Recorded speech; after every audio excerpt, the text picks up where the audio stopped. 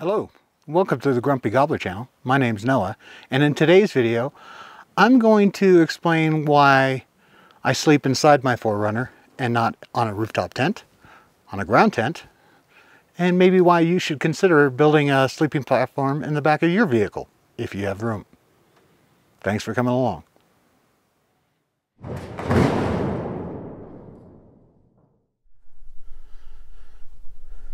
Well, I think it's uh, time to talk about what I think the benefits are of sleeping inside a vehicle versus a ground tent or a rooftop tent. And at least I can tell you why I do it. And uh, what you do, obviously, is up to you. Some people like ground tents, some people like rooftop tents. And uh, I certainly thought about getting a rooftop tent, but I obviously already have stuff on my roof and I like keeping that stuff up there. I have recovery stuff in the box up there and my traction boards, uh, high lift jack, uh, axe and shovel.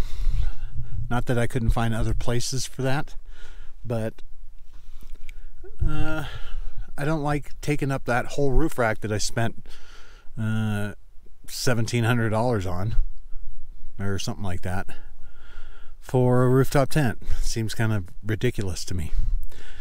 So that's one reason I didn't go with a rooftop tent, or a couple reasons, or one. I can't count. I don't know. Um, I don't like all that roof, that uh, weight up at the top.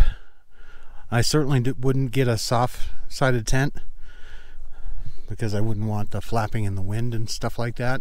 I tend to camp in the winter and I wouldn't want to deal with trying to put it away with snow on it. And that kind of goes the same with a hard sided rooftop tent. I wouldn't want to try to shovel off the snow and be up there. And that brings me to my next point.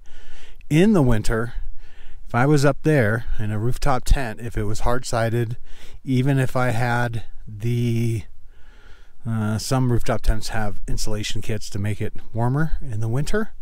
I would have to put that on. That'd be an additional expense. And I don't think it'd be as warm as being inside the vehicle. In here, I can put, you can see the WeatherTech window liners. I only have the back ones in right now, and I didn't even bring the other ones this this time.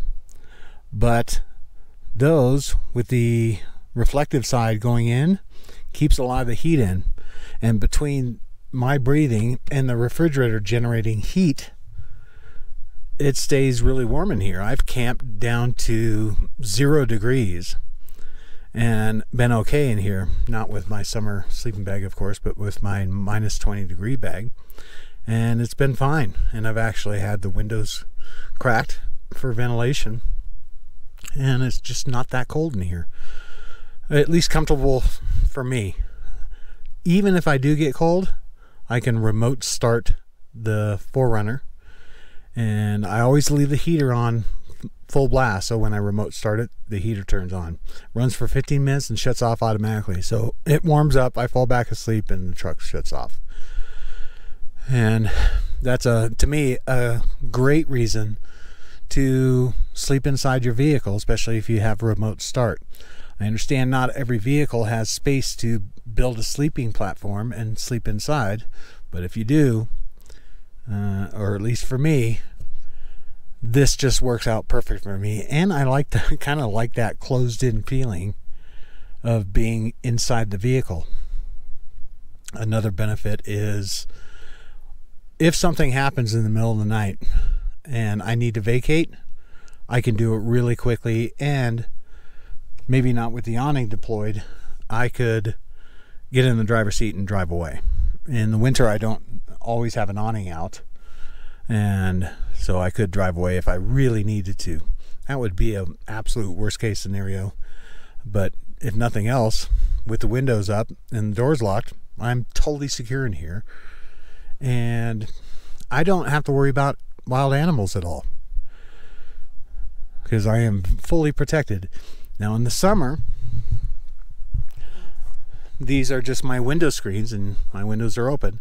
So uh, a bear could get through here. Um, but I think I'd have enough warning and I always have a weapon with me so I could protect myself. So I'm just not worried about it now in the ground tent. And I heard a story of some woman up in Montana, I think, who actually got dragged out of her ground tent. She was on a bicycling trip and killed by a bear. She was in a tent. So obviously, a vehicle adds a lot more protection.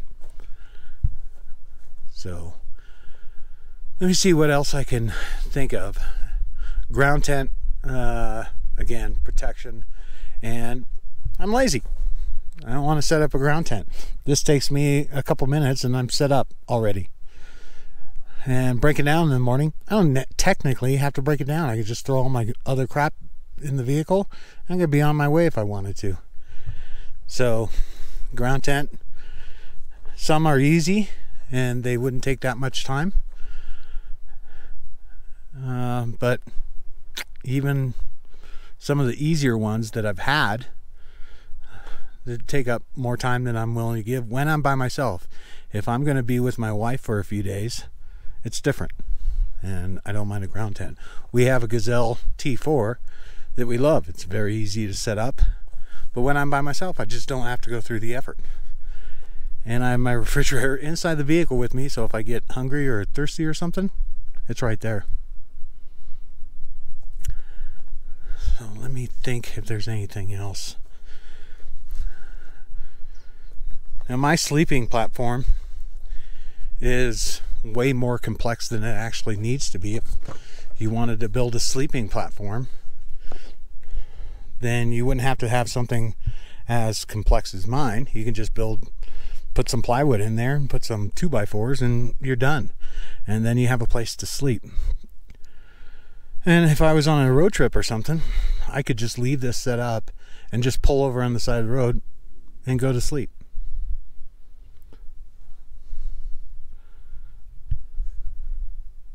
And that's nice to have that option.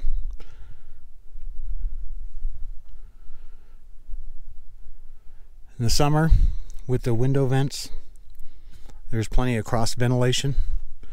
And just like the winter and turning on the remote starting and turning on the heater i could if i was boiling hot have the uh, air conditioning come on and cool it down that way. I've never had to do that but typically i'm, count- I'm camping at high elevation in cooler places so i really don't have to worry about that um, let me think if there's anything else i can talk about.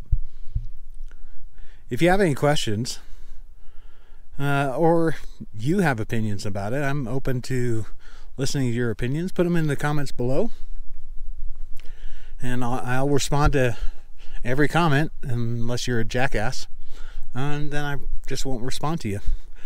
But if you just ask a question, I'll respond to it. There you go.